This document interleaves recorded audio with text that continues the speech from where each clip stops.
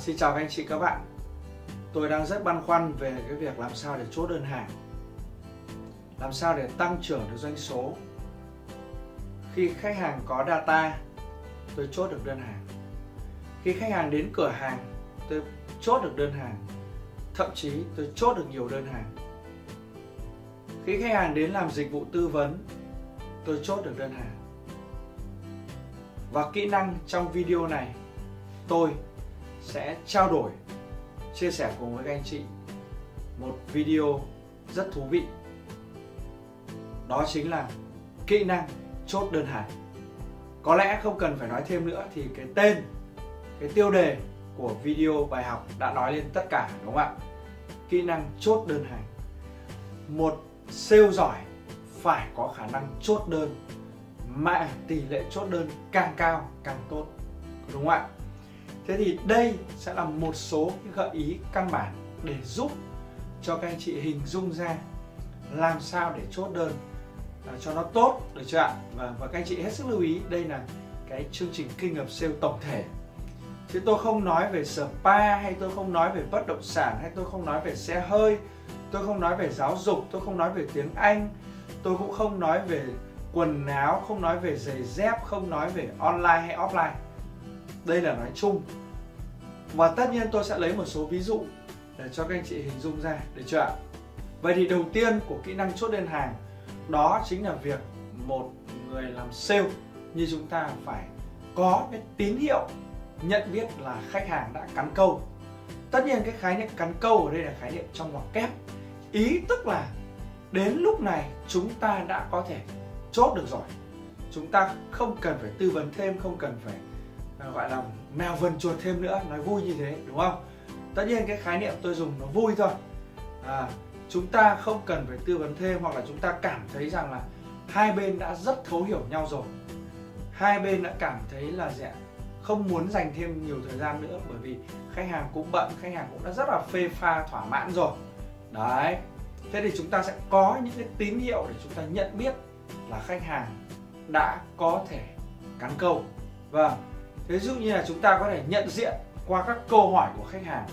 Các câu hỏi của khách hàng khi người ta chuyển sang cái chế độ quan tâm là à, các câu hỏi về thanh toán à, có được chiết khấu không có được giảm giá không em à, có được trả tiền làm nhiều lần hay không bên em có những phương thức thanh toán như thế nào đúng không ạ? Em có hóa đơn đỏ hay không kiểu kiểu như thế đúng không ạ? Hay là gì ạ? Em giao hàng uh, cho chị là khi nào? À, bao lâu thì hàng sẽ đến đúng không ạ? Bọn em có lắp đặt cho chị hay không? Đấy rồi thì à, bảo hành cho chị trong bao lâu? À, thế nếu mà khi chị hỏng hay anh hỏng thì anh sẽ mang sản phẩm đến đâu? Hả sửa hả em đúng không ạ?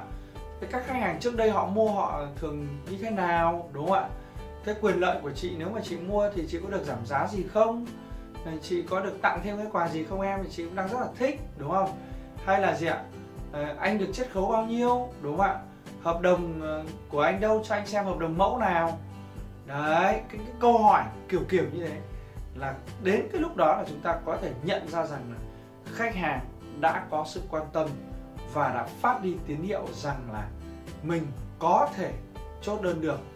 Đấy và chúng ta sẽ đưa ra các cái lựa chọn của chúng ta là à, xác định cái thời điểm chúng ta chốt đơn và chúng ta chuyển từ cái chủ đề tư vấn sang chủ đề chốt như thế nào cho nó uyển chuyển cho nó linh hoạt cho nó mềm dẻo đúng không ạ? Vâng à, thế thì anh chị đã hỏi về ừ, cái vấn đề thanh toán thì em cũng nói luôn là bên em có cái chiết khấu như thế này bên em có cách thức à, thanh toán như thế kia. Và nếu như các anh chị mà mua hàng ngay trong ngày hôm nay thì các anh chị sẽ à, được giảm giá như thế này các anh chị sẽ được tặng thêm như thế kia. Và bên em đang có chương trình như này như kia đấy thế thì anh chị có thể đặt cọc ngay bây giờ à, khoảng độ à, 10% thôi để giữ à, cái đơn hàng này thì bọn em sẽ à, giao hàng cho anh chị trong vòng 24 giờ. Đấy thì những cái cách như thế tức là chúng ta sẽ chuyển biến làm sao cho nó rất là uyển chuyển được chưa thứ hai trong cái kỹ năng chốt đơn hàng đó là chúng ta cần phải chuẩn bị sẵn à, những cái kịch bản để chốt đơn theo quy trình của công ty đã định hoặc là theo cái ý muốn mong muốn của người sale chính là các anh chị. Nếu như công ty có quy trình thì rất tốt được chưa nếu không thì chúng ta phải tự tạo ra quy trình của chúng ta. Đấy. Theo tôi thì à, là gì ạ? Chúng ta cần phải tóm tắt lại câu chuyện và đưa ra các giải pháp cho khách hàng. Đây chính là lúc chúng ta chốt đơn đúng không ạ?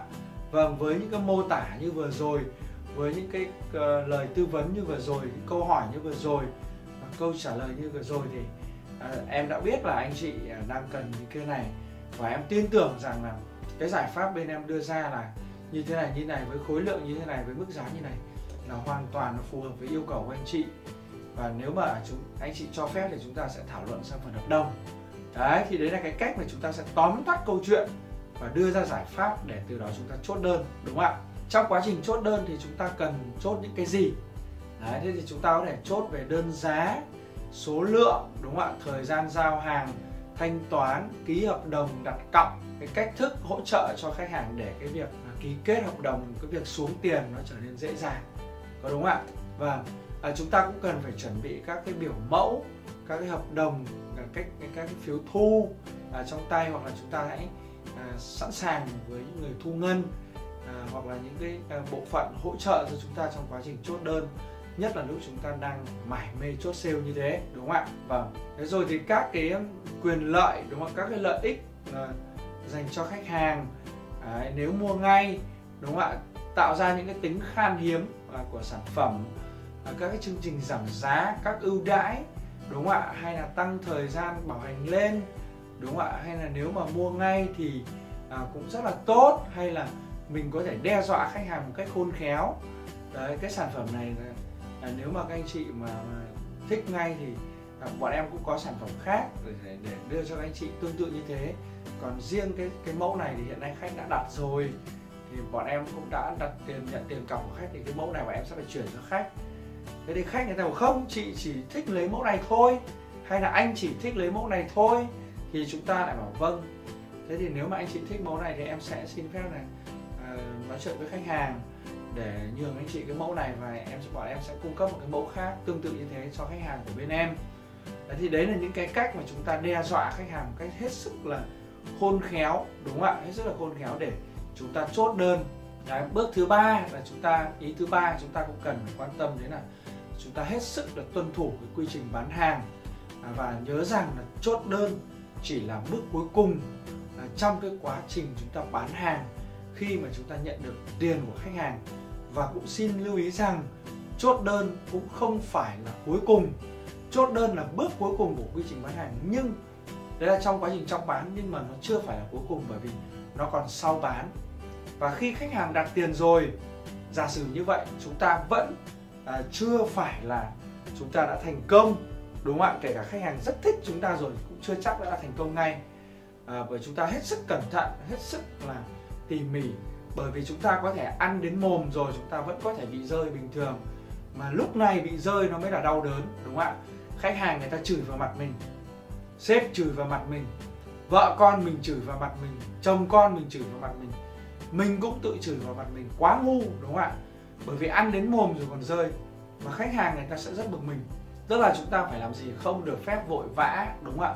Không được thay đổi thái độ, đúng không ạ? Không được luyến quính ôi dồi ôi, nghĩ trong đầu là mình ký được đơn này là ngon rồi, kiếm được từng này từng kia rồi, vui quá. Dồn dập dồn dập, ép khách ép khách. Chị về lấy tiền đi, đúng không anh về này, rút ngân hàng đi, kiểu kiểu như thế. Thì tất nhiên đấy là những cách mình hỗ trợ khách hàng, nhưng cái cái cái sự tinh tế, đúng không ạ? Nếu mà mình có thể hỏi là nếu mà anh chị rất là thích rồi, anh chị có thể đặt cọc. Thế chị không có tiền thì làm nào, đúng không ạ? Em sẽ chở chị ra ngân hàng và hai chị em mình sẽ ký đặt cọc tại ngân hàng hoặc là chị sẽ quay lại văn phòng em. Đấy chúng ta dục khách hàng theo một cách rất tinh tế như thế đúng không ạ? Vâng. Nhớ rằng là chốt đơn vẫn chưa phải là xong đúng không? Nếu không thẩm cẩn thận là thành thảm họa như tôi vừa nói.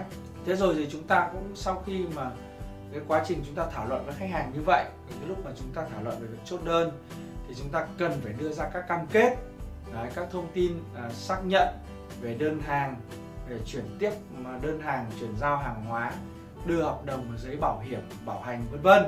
Đấy. Thế thì à, ví dụ như là ừ, tôi có thể à, kể cho các bạn một cái câu chuyện hỏng ăn. À, khi mà trực tiếp tôi mua một cái sản phẩm thiết bị y tế thế tôi lên google tôi tìm thì ra một công ty thiết bị y tế và tôi mua một cái thiết bị y tế nó khoảng độ 2 triệu đồng. Đấy, tôi đã gọi điện tôi đã xác thực đơn hàng tức là tự khách hàng đã mua hàng rồi nhắn tin số điện thoại địa chỉ nhà uh, thời gian giao hàng thích hợp rồi. Đấy, bên bán hàng cũng nhận đơn là ok rồi. Thế đến cái thời gian giao hàng thì vẫn không có chậm một tiếng hai tiếng. Thế tôi mới gọi điện tôi bảo em ơi sao em không giao hàng cho anh? Thế thì các bạn ấy giải thích là vâng hôm nay ship nhà em đi mệt quá rồi quên rồi vân vân vân ok thôi được rồi.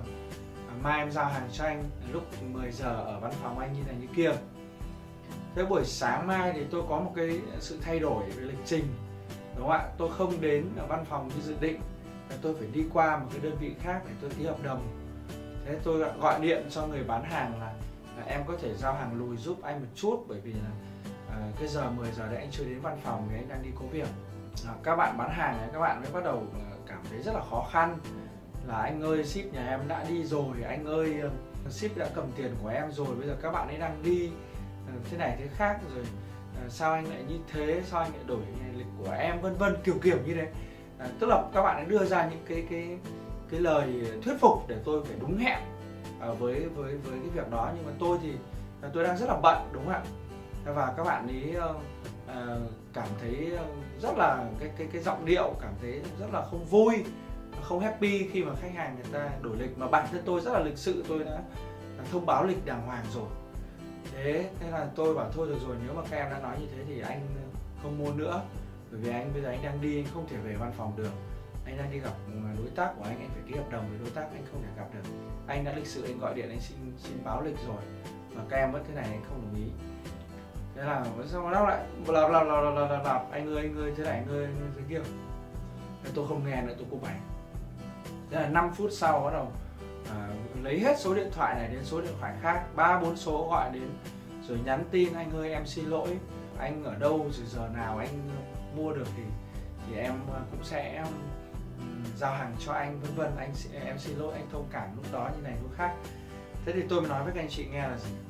Khi tại thời điểm đó cảm xúc mua hàng nó đi xuống sự giận dữ đã có đúng không ạ? Hay là sự bực mình đã có hay là sự không hài lòng đã có cảm xúc đi xuống rồi tôi không mua nữa. Bởi vì sao? Các bạn biết rồi. Khách hàng luôn chỉ có rất ít lý do để mua hàng, nhưng có rất nhiều lý do để từ chối. Và các bạn hãy nhớ rằng là gì ạ? Có hàng trăm người, hàng nghìn người đang bán sản phẩm giống như bạn, tương tự như bạn, tốt hơn bạn, rẻ hơn bạn, lịch sự hơn bạn. Hãy nhớ điều đấy. Và cách trả thù ngọt ngào nhất đối với một người bán hàng của một khách hàng là gì? Là vui vẻ đi mua hàng của người khác hãy nhớ điều đấy.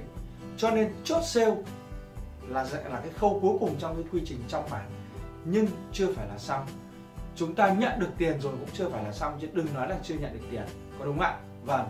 Thì cái câu chuyện của tôi đi mua một cái thiết bị y tế đấy là câu chuyện có thực.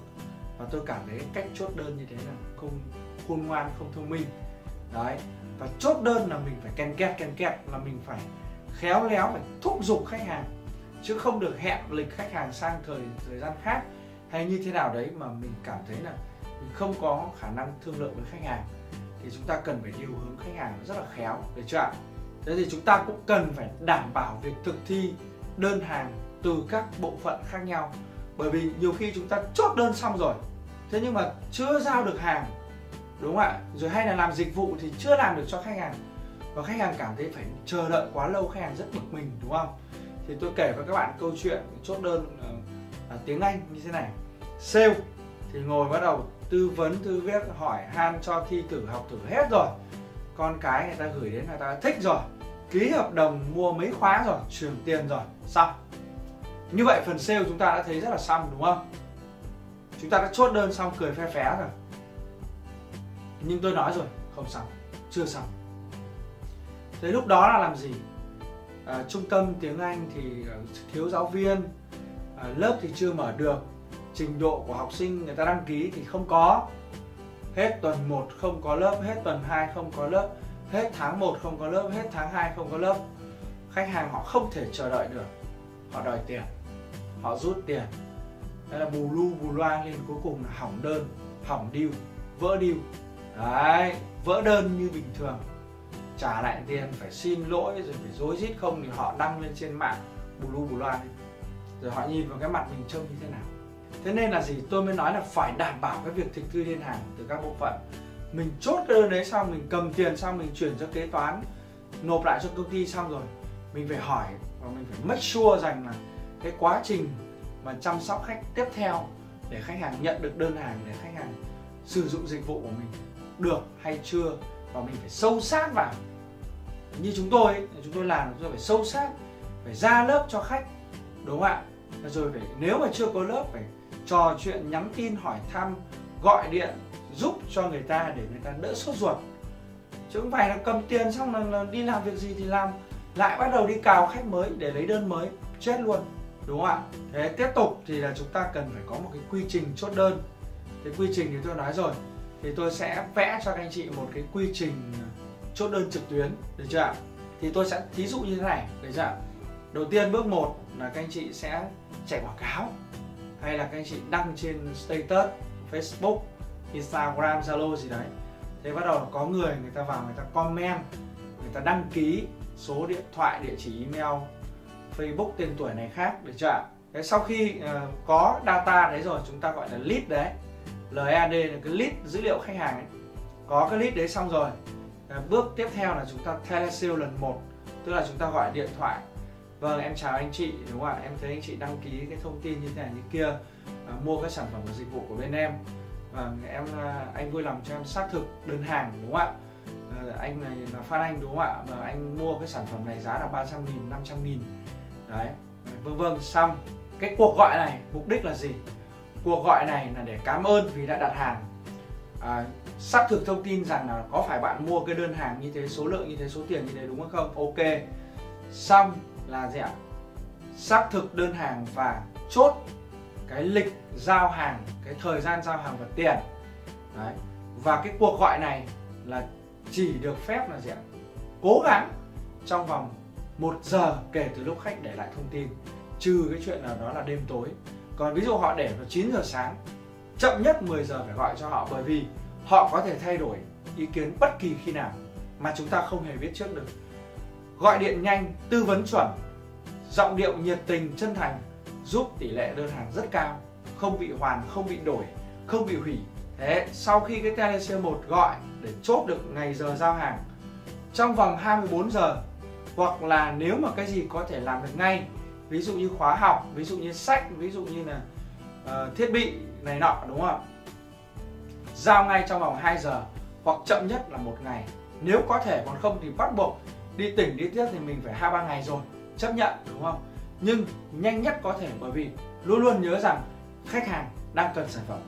Khách hàng có thể đổi ý bất kỳ lúc nào. Xong cái phần uh, quy trình telesale bước telesale 1 được chưa Đấy, bắt đầu. Bước tiếp theo giao hàng. Đấy, giao hàng phát là đến gọi điện tiếp. Anh ơi chị ơi em đang đến giao hàng rồi. Đến giao hàng thu tiền. Thu tiền xong. Được chưa thu tiền xong. Cảm ơn. Bắt đầu lại telesale lần hai. Tại vì cái người ship đấy thì có thể là của mình hoặc của công ty khác. Telesale lần hai anh Phan Anh à? Anh đã nhận được hàng rồi đúng không ạ? Vâng ờ, anh sẽ sử dụng nếu có vấn đề gì thì anh liên hệ với bọn em cảm ơn anh. Và chúc em một ngày tốt lành. Telesale lần hai xác thực là khách hàng đã nhận được hàng đơn hàng đã được hoàn thành. Có phàn nàn gì về ờ, sản phẩm và dịch vụ hay không? Rất tốt được chưa ạ? Đấy, thậm chí là gì ạ? SMS gửi cảm ơn đúng không ạ? Email gửi cảm ơn khi mà họ đăng ký đơn hàng ở phía trước và mua đơn hàng ở phía sau. Chúng ta có thể sử dụng. Thế rồi giả sử như là nếu như chúng ta bán một cái sản phẩm mà thời điểm chúng ta thu tiền và cái thời điểm mà chúng ta cung cấp dịch vụ, hàng hóa nó hơi xa một chút, thí dụ như khóa học chẳng hạn, họ thu đầu tuần, cuối tuần mới học, thì lại có bước tiếp theo là telesale cảm ơn họ, nhắc nhở họ, remind họ để cho họ không bị sốt ruột. Đấy. Sát đến ngày sự kiện diễn ra, nhắn tin sms lần hai, nhắc nhở họ để họ đi tham dự sự kiện đừng có nghĩ là gì họ đã thu tiền rồi họ đã đóng tiền rồi họ không đến lớp kệ họ. Bởi vì kệ họ như thế tức là dịch vụ của mình không tốt. Cái quan trọng nhất là mình bán được hàng và khách hàng phải thỏa mãn. Cho nên toàn bộ cái quy trình như thế chúng ta gọi là cái quy trình à, chốt đơn hàng được chưa Đấy, sau đó bắt đầu là gì tại cái hôm diễn ra sự kiện thì chúng ta cũng phải chào đón thông tin cũng phải hết sức chính xác đầy đủ không đến lại bảo là anh chưa đóng tiền phí của phiếu của chị đâu. Thế này thế khác bắt đầu lại bù lu bù loa lên. Và khách hàng lại bị gì giận hờn. Đấy, khách hàng lại bị bực mình bị tổn thương. Thì chúng ta phải làm các khâu đấy nó đều hết sức là chuẩn chỉ. Sau khi sự kiện diễn ra xong lại về lại email thank you các kiểu con đà điểu nữa. Lại sms thank you. Tất nhiên nếu như chúng ta có đủ lợi nhuận để làm thì chúng ta phải xây dựng cái quy trình như thế. Quy trình nhiều bước hay ít bước mỗi một bước đấy là cần cái yêu cầu gì? Bao nhiêu thời gian ai làm, như thế nào KPI ra sao? Thì chúng ta cũng phải vẽ ra rất là rõ. Và nó phụ thuộc vào lợi nhuận của sản phẩm và cách thức chúng ta chăm sóc khách hàng. Thì nhớ là như thế, chúng ta phải làm hết sức là chuyên nghiệp, nhanh nhẹn và chuẩn chỉ nó có quy trình.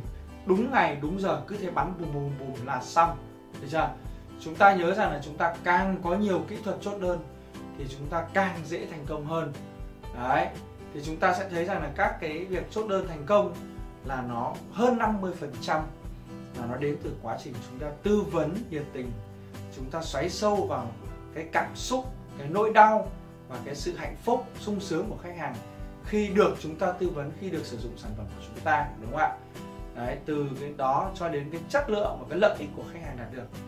Nó là nằm ở cái phần tư vấn ờ, trước đó, đúng không ạ? Tất nhiên nó vẫn còn phụ thuộc thêm yếu tố thương hiệu, yếu tố thu nhập này khác, nhưng cái quá trình chúng ta tương tác với khách hàng, nó quyết định cái việc chốt đơn rất cao. Và cái câu hỏi chốt đơn của chúng ta cũng rất là thông minh, đúng không ạ? Là người ta sẽ không hỏi là ờ, bạn sẽ lấy có hay là không? Bạn có lấy cái này hay không, đúng không ạ? Một câu hỏi sẽ là, bạn sẽ lấy cái này chứ, đúng không ạ? Hay là hai cái áo xanh và cái áo đỏ này thì bạn lấy cái nào? Đấy là cái câu hỏi chốt đơn cực kỳ thông minh, chứ không phải là có hay là không hay là như thế nào và câu hỏi phải là câu hỏi mang tính chất là gì ạ? Họ phải lựa chọn là có nhiều hơn. Câu hỏi không cho họ từ chối chúng ta nhớ cái điều đấy nha. Thì chúng ta sẽ thấy rằng là cái, khi mà chúng ta đi chào hàng khi mà chúng ta bán hàng với khách hàng thì cái tỷ lệ à, khách hàng từ chối rất là cao. Chuyện đấy hết sức bình thường. Theo thống kê thì 80% khách hàng sẽ luôn từ chối các bạn và 20% khách hàng sẽ đồng ý đúng không ạ? Thế chúng ta phải học cách chốt đơn như thế nào để giảm được cái lượng từ chối và tăng lượng đồng ý lên đúng không? Mà từ chối rồi thì chúng ta cũng hết sức là vui vẻ. À, chúng ta còn thậm chí còn phải vui vẻ hơn không có vấn đề gì cả. Anh chị không mua khi này thì mua khi khác đúng không? Chứ đừng có lại mặt sưng mày xỉa lên xong này đốt vía xong thế này thế khác rồi. Đang lúc trước rất nhiệt tình hồ hởi. Thấy khách ngãng ra cái bôm khách luôn. Những sale như thế không bao giờ là sale có tố chất để kinh nghiệm sale được. Được chưa thế rồi thì chúng ta cũng đón nhận cái sự từ chối như một phần của công việc trong quá trình chốt sale. Đấy. và những cái nước cuối cùng chúng ta không thể làm được gì là chúng ta có thể sẽ vẫn tiếp tục duy trì với khách hàng hoặc là cố gắng thuyết phục khách hàng mua cái sản phẩm của chúng ta. Đúng không ạ? Một cách là nỗ lực nhất, bởi vì đôi khi người ta sẽ mua hàng vì sự nỗ lực, sự kiên trì của chúng ta. Đúng không ạ? Vâng. Và nếu như mà khách hàng họ từ chối thì hãy hỏi ý kiến là tại sao họ từ chối để chúng ta biết là chúng ta bị từ chối vì sao và chúng ta thay đổi và chúng ta sẽ làm tốt hơn cho lần tiếp theo với chính khách hàng đó hoặc là với những khách hàng khác đúng không ạ? À, hoặc là chúng ta cũng có thể theo đuổi cái quan điểm là chúng ta có quyền từ chối khách hàng nếu như sản phẩm của chúng ta không phù hợp với khách hàng. Cái phần này tôi đã giảng dạy với các anh chị rồi đúng không ạ? Ví dụ họ rất thích mua nhưng mà cái sản phẩm đấy không phù hợp với khách hàng thì chúng ta có thể từ chối không bán để đảm bảo cái uy tín cho chúng ta và đảm bảo quyền lợi cho khách hàng. Đấy chính là cách chúng ta giữ vững thương hiệu cho sản phẩm và dịch vụ, giữ vững uy tín và đẳng cấp của người làm sale đúng không ạ? Vâng. Và nó cũng, cái việc chốt đơn cao hay thấp này thì nó cũng phụ thuộc vào data của chúng ta là data nóng hay data ấm hay data lạnh, đúng không ạ? Và cách chúng ta chốt đơn như nào, sản phẩm của chúng ta là gì? Vì chúng ta chốt đơn một một tư vấn hay là chúng ta chốt đơn hội thảo, có đúng không ạ? Hay là chúng ta sử dụng automation marketing đấy hay là chúng ta à, đến từng à, ban chúng ta tư vấn theo nhóm đúng không ạ? Ờ, hay là chúng ta đăng trên Facebook hay là chúng ta à, chốt đơn ở trên web. Trên Facebook thì khách comment tỷ lệ mua sẽ thấp hơn khách inbox mà khách mà inbox mà để lại số điện thoại ngay lập tức thì sẽ chốt đơn cao hơn khách là chỉ hỏi giá. Nó sẽ có những cái nguyên lý như thế thì nó phụ thuộc vào từng công cụ chúng ta chốt nữa và cách thức chúng ta chốt nữa để trả vâng và một cái kỹ năng chốt sale cũng rất là quan trọng nữa đấy là chúng ta cần phải hiểu về upselling, cross-selling và downselling. Đó, thế thì tôi sẽ nói uh, một chút để các anh chị hiểu. Một king of sale sẽ cần phải hiểu về upselling là gì. Upselling là bán thêm. Vâng, bán thêm nghĩa là như này. Họ định mua, họ định mua một cái áo thì mình bán thành hai, đấy gọi là upselling. Họ định mua lửa lít, mình bán lên thành một lít, đấy gọi là upselling. Đúng không ạ? họ định mua một cái bánh 5 đô bạn bán thành một cái bánh 10 đô đấy là upselling đó thế còn cross selling là họ định mua cái áo bạn bán xong rồi bạn dụ họ mua thêm đôi giày thì đấy là cross selling họ mua cái váy bạn bán thêm một cái áo đấy gọi là cross selling bán chéo bán chéo bán sang các sản phẩm khác. Đó. Ví dụ như người ta mua điện thoại thì mình bán thêm ốp lưng bán thêm miếng dán cường lực bán thêm uh, tai nghe bán thêm sạc không dây đấy gọi là cross. Họ định mua iPhone 6 mình bán lên iPhone 7 đấy là upselling. Họ định mua iPhone 8 nhưng họ không đủ tiền mình dụ họ mua iPhone 7 iPhone 6 đấy gọi là downselling là bán bớt, đúng không ạ? Bởi vì có thể là khách hàng không có thu nhập đủ, không có đủ tiền ngay, hoặc là sản phẩm đắt tiền không cần thiết với khách hàng bởi quá dư thừa. Ví dụ như họ định mua một cái nhà độ 300 mét, tôi giả sử thế thôi. Nhưng họ chỉ có hai, ba người thôi, mình có thể tư vấn cho họ sử dụng cái nhà 120 mét đã là quá rộng rồi. Đấy, tôi giả sử như thế, thì đấy gọi là down selling. Thì chúng ta căn cứ vào nhu cầu khách hàng để chúng ta làm cho khách hàng, chúng ta thấu hiểu khách hàng và chúng ta cho họ những cái lợi ích là tốt nhất cho họ thì chúng ta sẽ làm thành công. Thì trong cái kỹ năng chốt đơn như vậy mình hiểu được cái đó thì mình sẽ bán được tốt nhất bán được thêm bán được nhiều hơn. Và quan trọng nhất là khách hàng họ thỏa mãn và vui sướng khi mua hàng. Vâng thế thì vừa rồi tôi có trình bày với các anh chị một số những cái ý à, cái kinh nghiệm quan trọng à, cơ bản để giúp các anh chị à, tăng cái khả năng chốt đơn. Và tôi cho rằng cái việc kỹ, à, kỹ năng chốt đơn hàng thì các anh chị cũng cần phải học hỏi, luyện tập và suy nghĩ thấu đáo để các anh chị có thể thành công hơn trong cái việc bán hàng của mình. Một lần nữa, xin được cảm ơn các anh chị à, đã theo dõi video này. Nếu các anh chị có đóng góp, có câu hỏi hoặc có thảo luận gì với tôi thì xin liên hệ với Phan Anh để được hỗ trợ và được trò chuyện. Xin được cảm ơn các anh chị rất nhiều và rất mong được phục vụ các anh chị trong các video tiếp theo. Xin cảm ơn.